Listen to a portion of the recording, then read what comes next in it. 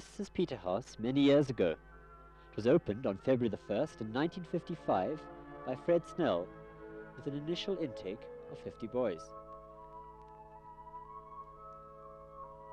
At that stage it was obviously not yet completed. With four masters and little space, classes were held in the Ellis House Toys Rooms. The next year saw further developments in the shape of Paget House and the Junior Hall. This was the scene in October 56.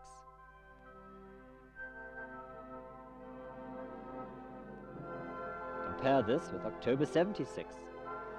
Incidentally, both photos were taken from Monkey Hill.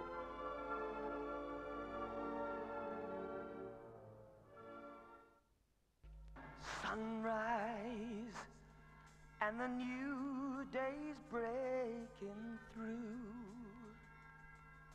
The morning of another day without you.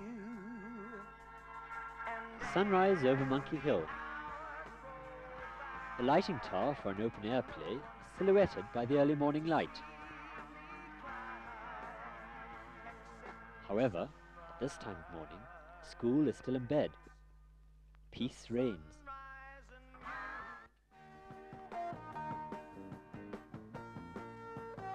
The entire community is rudely awakened at six o'clock by five rising bells. Boys are soon in their toys rooms, ready for prep. This is a toys room where ten of us are expected to work. Decor, in all forms, is a welcome distraction. After roll call, boys bask in the sun outside the two halls till the gong is run. Then there is breakfast to contend with. We return to our houses where beds are made and general business is carried out. The sanatorium may be visited where a multi-purpose cure is to be found in the shape of turfies and turfers.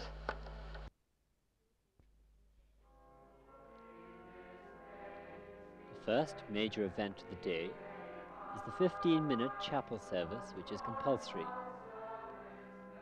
Slowly, boys will drift in. The service begins and the singing is enhanced by the school choir and pipe organ.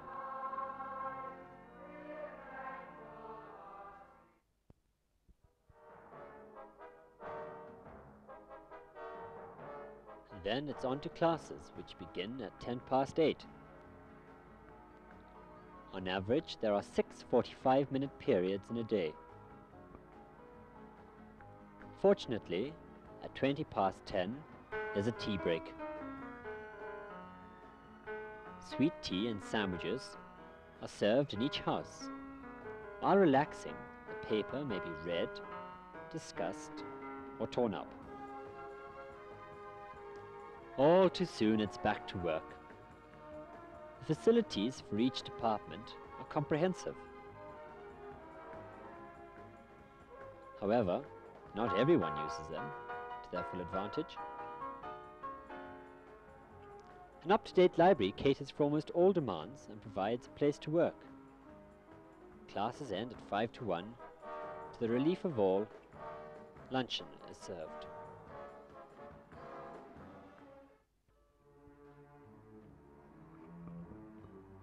Nearly all, rest is compulsory.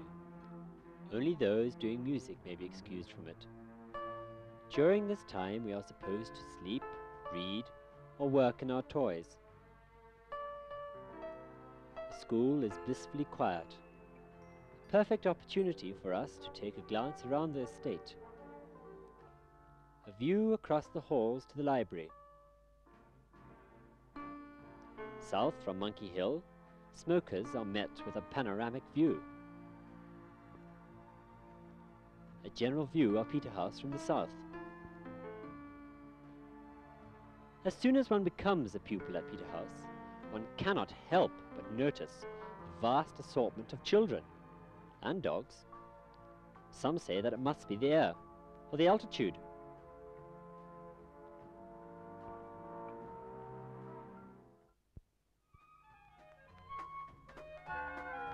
For a small sector of the school, music is vital. Many hours are spent practicing a variety of instruments. Choir annually unites strength with Springvale, Ruzawi, and Arundel for the Four Choirs Festival. Tuesday and Thursday afternoons and evenings are set aside for a wide variety of societies. Afternoon activities include Science Club, Art Club, Natural History Society, Snake Club, and many more apart from building sets and rehearsing for plays. However, most afternoons are spent playing sports. As in the academic sphere, Peterhouse offers excellent sporting facilities. Cricket, basketball, hockey, rugby, volleyball, a game played by over 700 million Chinese, athletics, the flying leap, and tennis or squash, whether it be social or league. For the golden oldies who are less athletically inclined, judging and drinking tea are more suitable. One afternoon of labour a week is usually compulsory to keep the estate in trim, provide wood, and prevent bushfires. In the evening, tuck shop opens and provides soft sundowners and snacks before showers. Sensible, just as I thought. Up to the sand for a second dose, in case the early morning one didn't work.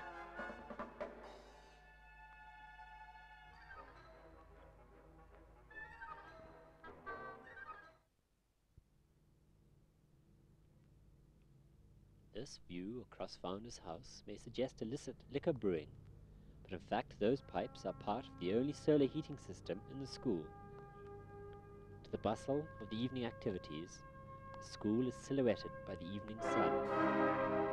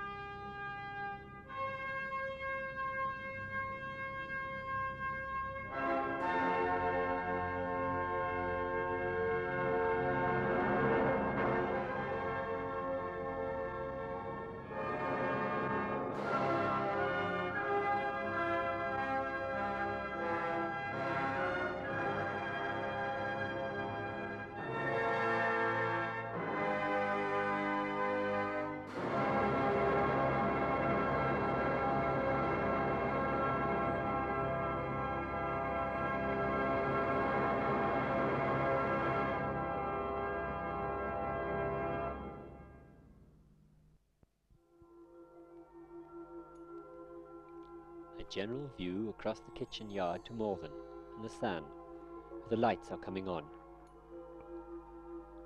Roll call and supper, and prep are next on the agenda. Work is soon forgotten, and at 8 o'clock, the nightlife gets underway. The Dramatic Society, over the years, has become increasingly more popular and so flourished successes in both the inter-schools drama contests and the arts festival. A scene from the 1974 Caine Mutiny Court Martial. The excerpt from Rosencrantz and Guildenstern Are Dead won the 1976 Inter-Schools Drama Contest. The occasional staff and outdoor play complement this very active society. Evening societies are well supported and range from orchestral concerts, lively debates, choral recitals, to bridge parties, and play reading groups. The Astronomical Society is keen on gazing at heavenly bodies. Not everyone goes out to societies, a coffee social may be found virtually anywhere in the school. Soon, even these retire to bed. The night watchman switches off the lights, one by one. The last lights burning are those of the chapel.